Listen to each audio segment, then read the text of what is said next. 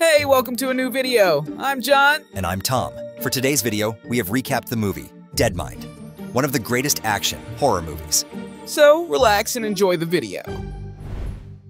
In the opening scene, a group of pirates are seen resting and relaxing after a successful raid. One of them walks deeper into the forest to relieve himself when he spots a strange metal mass on the ground. Upon investigating further, he stumbles upon a dark cave.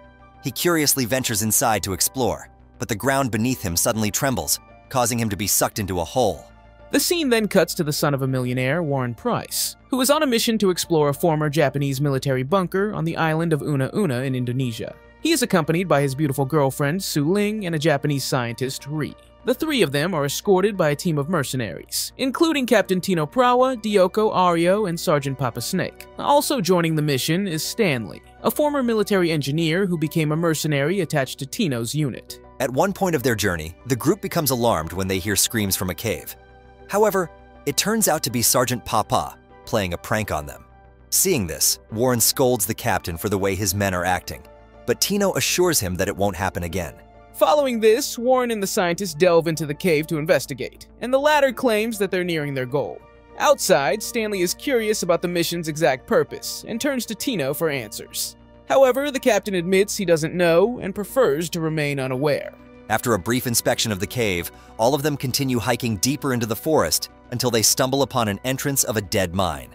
Ree speculates that it was once operated by the Dutch, but it was taken over by the Japanese after the Second World War. Warren continues the speculation, saying that the mine was repurposed into a military bunker, which is exactly what they're looking for.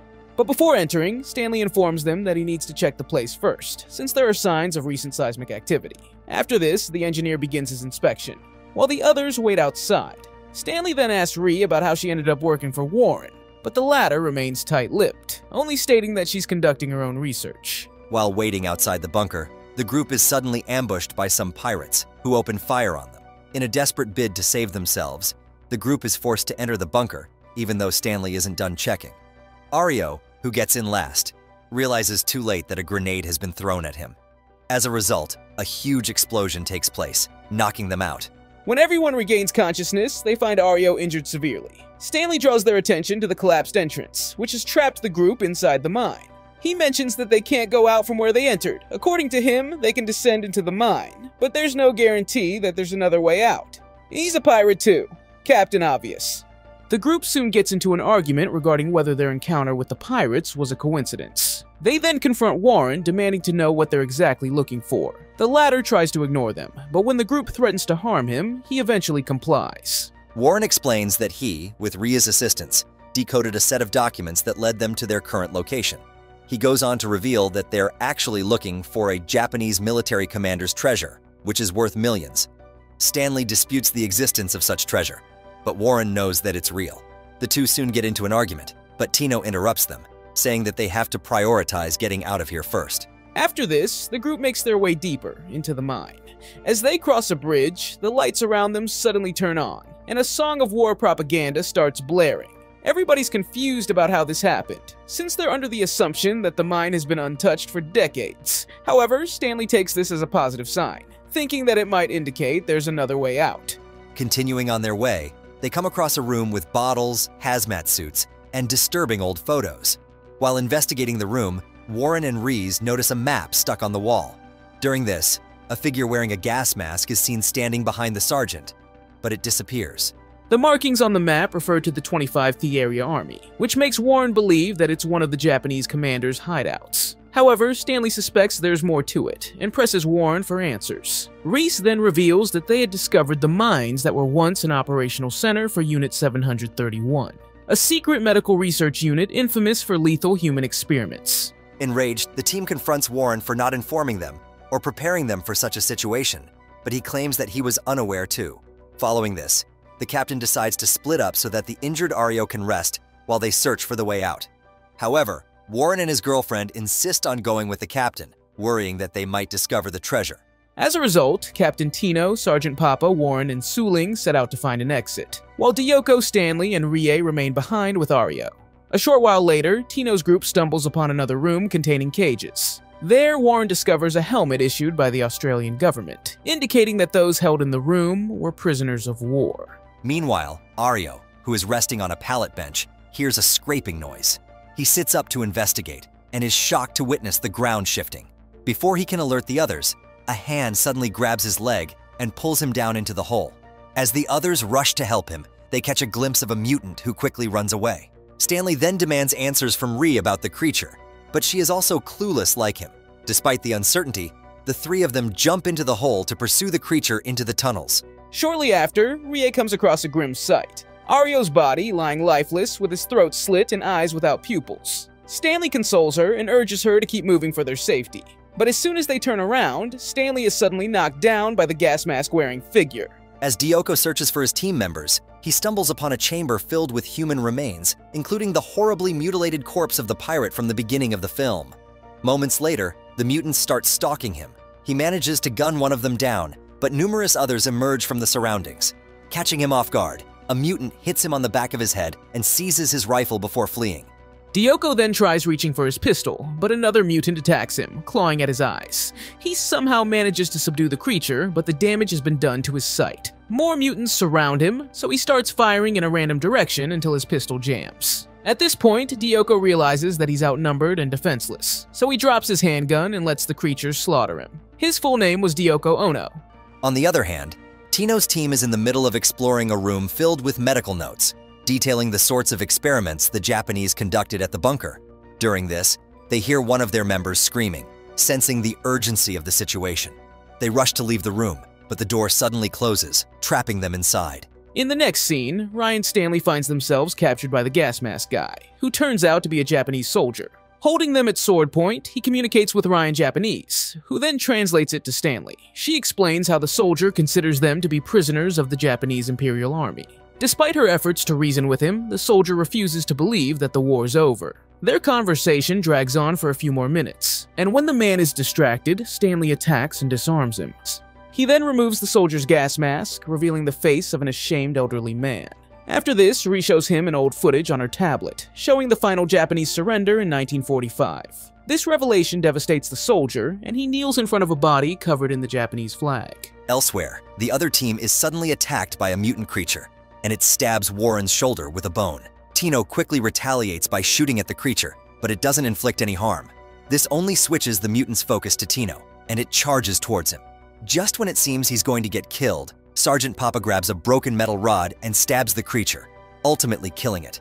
Warren then examines the creature's head and translates the Japanese inscription, which reveals that it was an Australian POW. In the meantime, the soldier in the other room shares a story to Stanley and Ree. He explains that he and his deceased friend were assigned to guard the mine for years, but when the Japanese army departed in 1945, they were left sealed inside. He confesses to killing his friend because he wanted to surrender and leave. In addition, he reveals that the mutants are POWs imprisoned in the mine before them.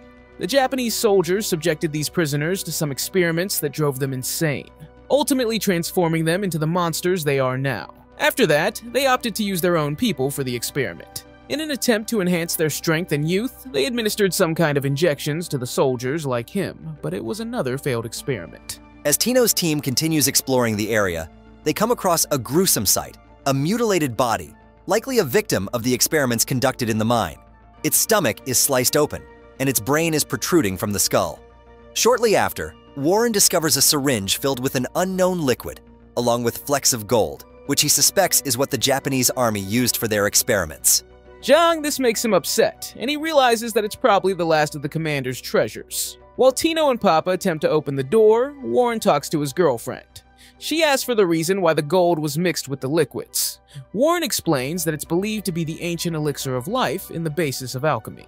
When he expresses his worry about leaving empty handed, Su Ling suggests that they take the syringe with them, asserting that it might be more valuable than the treasure. Hearing this, he hands over the syringe to her, asking her to keep it safe. Moments later, Tino and Papa successfully manage to open the door, revealing a shrine filled with dozens of creatures dressed in samurai suits of armor. In other words, they are the Imperial Guard. These guards suddenly spring to life and start advancing towards the group, scared the captain and sergeant open fire, but their bullets barely have any effect on the guards. Sensing the imminent threat, Tino instructs Warren and Su Ling to escape, while Papa stays behind to earn them some time. However, the sheer number of guards attack the sergeant before he can shut the chamber door, resulting in his tragic demise. Tino, Warren, and Su Ling run for their lives, and they eventually reach the cavern where Dioko was killed. As Tino proceeds to examine the body, Warren is suddenly attacked by a mutant. Despite being injured, Tino fights the creature and grabs a broken piece of bone to stab it to death. After this, they make their way through the sewage system, and finally end up in a room where Stanley, Ree, and the gas masked man are in. Tino then asks the man if he knows the way out, to which Stanley replies that he has an idea. He mentions that the creatures often go out to hunt animals and find food for themselves. On the other hand, we see that Warren is barely holding onto his life due to his injury. In a desperate attempt to save her boyfriend, Su Ling administers him with the same syringe from earlier. Just then, the Imperial Guardsmen catch up to them, prompting the group to flee for their lives. However, the gas masked man opts not to escape. He instead kneels in front of the guards, allowing them to slit his neck. Elsewhere, one of the Imperial guards frees a mutant from the metal cage on its head, indicating that they're now working together. As the group is heading to what appears to be an exit, they are ambushed by two mutants. Tino and Stanley then engage in a brawl, while Su Ling frantically tries to open a door beside her.